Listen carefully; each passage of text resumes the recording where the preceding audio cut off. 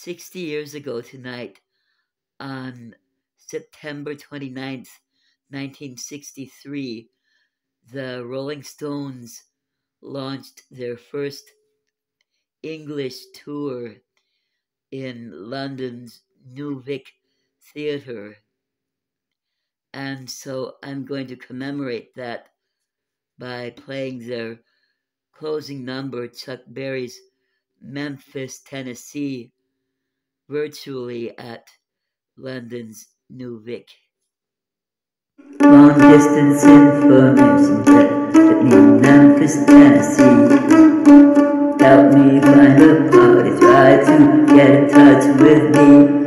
She did not leave a number, but I know who placed the call. Cause my auntie took a message and she wrote it on the wall.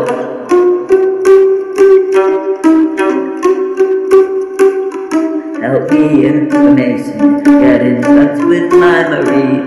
She's the only one who won't be from Memphis, Tennessee. Her home is on the south side, high on the ridge, just a half a mile from the Mississippi Bridge.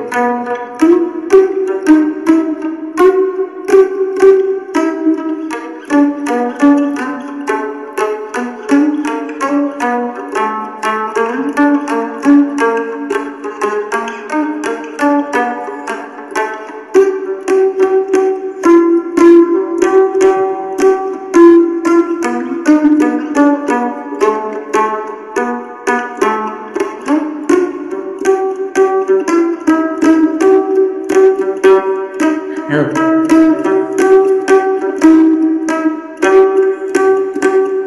Help me information, more than that I cannot add.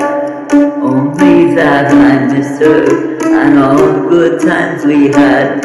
Maria, 76 years old, so information please. Help me get in touch with her in Memphis, Tennessee.